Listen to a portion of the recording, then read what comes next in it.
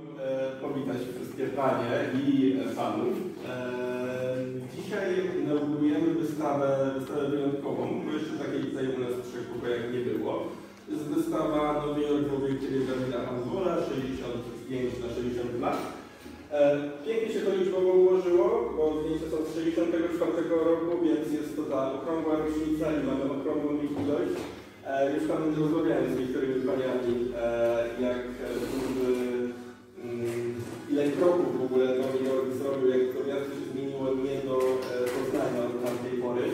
No i są z nami inicjatorzy, organizatorzy tego projektu. E, Pan Bolesław i Pan Łukasz Łukasz z Kołodziejski. Fundacji Cmentarza Żydowskiego Genisia. E, I ja już może nie będę ze swojej strony przedłużał. Proszę uprzejmie. No to ja jeszcze raz powiem dzień dobry Państwu. Jestem wdzięczny Panu Dyrektorowi, prawda, opiekunowi powiedzmy tego ośrodka, że nas zaprosił, że umożliwił nam, prawda, wystawienie tych zdjęć. Zdjęcia zostały zrobione przez Dawida Handwola, obywatela yy, Polski, urodzonego w Warszawie przed wojną, który miał niesamowite szczęście przeżyć przeżyć II wojnę światową, przeżyć Holokaust tak zwany, to znaczy zagładę Żydów. Miał nie, nie, niebywałe szczęście. Był w wielu obozach, był w Oświęcimiu, przeszedł przez getto warszawskie. Um, został wyzwolony w strefie amerykańskiej, w strefie a, prawda, w, w jednym z obozów. No i potem wyjechał do Stanów Zjednoczonych y, dzięki prawda, żołnierzom amerykańskim, którzy poznali się z nim i w 1945-1946 roku był już w Ameryce. Skończył tam szkołę, skończył prawda, Wydział Handlowy, y, był handlowcem. No handlowcem był jeszcze oczywiście z urodzenia y, poprzez swojego ojca. Ojciec, który prawda, Dawida, który w Warszawie y, miał sklepy, miał wytwórnię, um, wytwórnię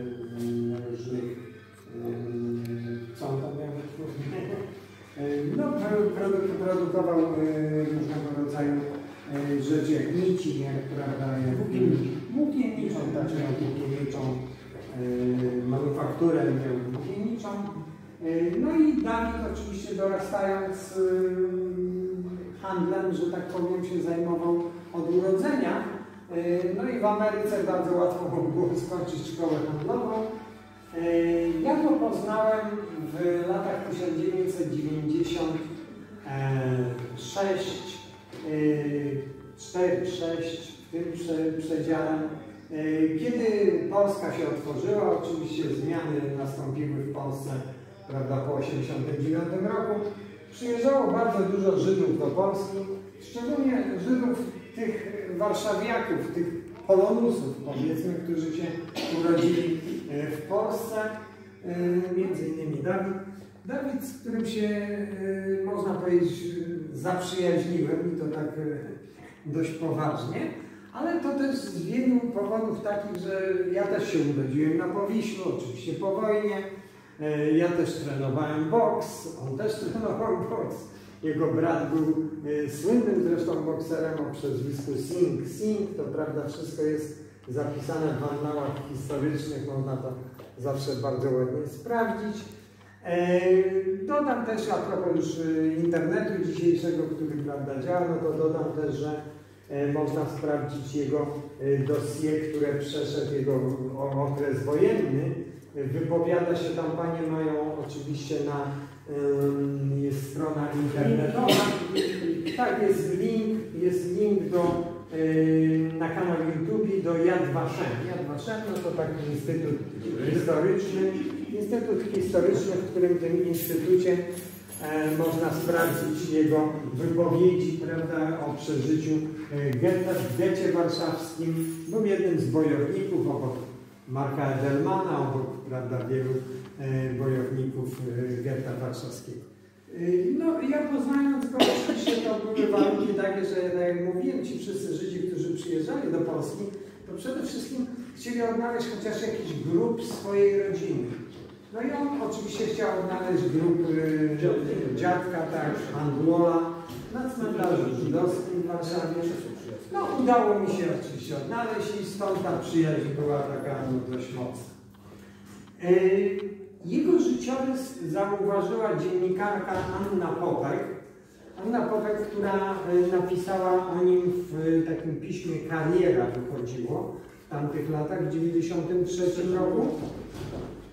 Ona y, opisała jego y, właśnie życiorys, no i y, na, można powiedzieć na dwóch stronach tylko bardzo żałowała, że, że nie mieszka w Warszawie, bo powiedziała, że ona najchętniej to by napisała książkę o nim, bo rzeczywiście jego życie było no, tak, bardzo przybogate, było, było niemalże y, książkowe, no, no, niemalże na książkę, to, co on przeżył to było bardzo ciekawe. Trzeba sobie powiedzieć, że y, tą wystawę oczywiście y, dzięki panu Piotrowi y, możemy zrobić. Ona jest, tak jakśmy tu opisali, na 400-lecie też Nowego Jorku. Bo akurat tak się składa, że w tym roku tak Nowy Jork powstał na, na powstanie prawda, Nowego Jorku, który w tym roku jest 400, y, 400-lecie.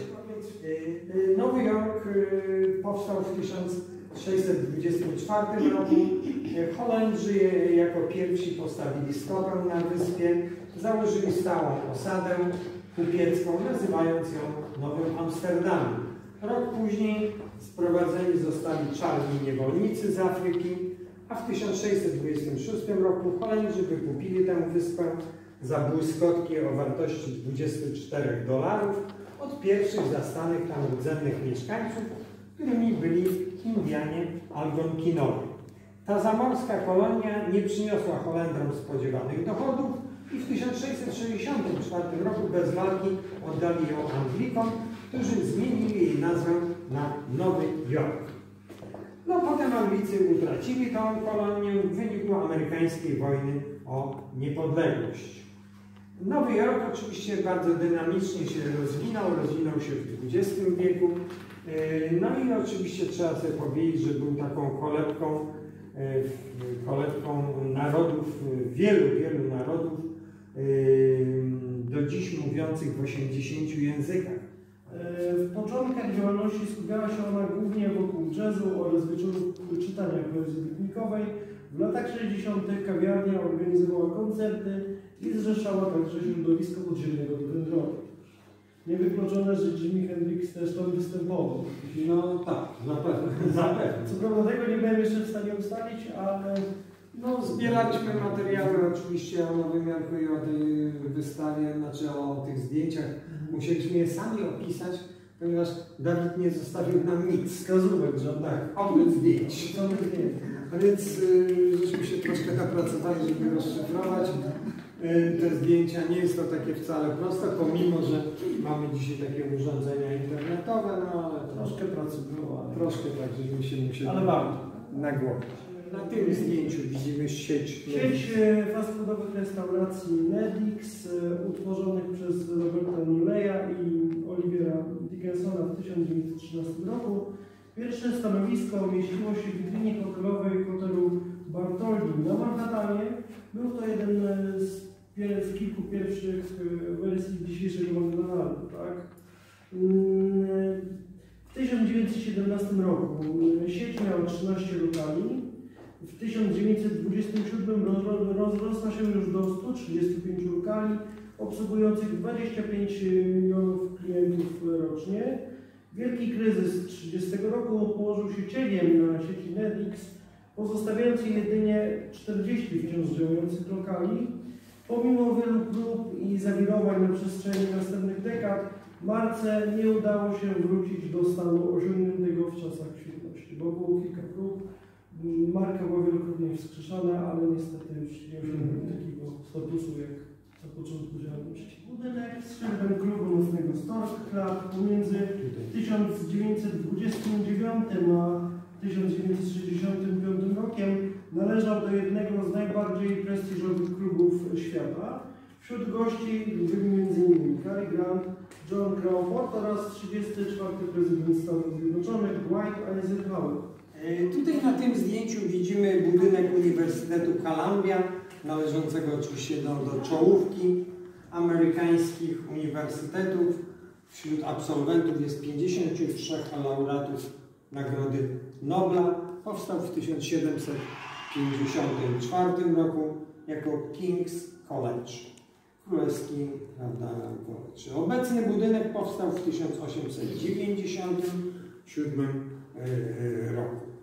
A tutaj mamy zdjęcie przed wejściem e, do Uniwersytetu Columbia, e, Law Library Columbia University, tak jest jego nazwa. Znajduje się posąg e, Alma Mater Woota Daniela Chestera e, Frencha.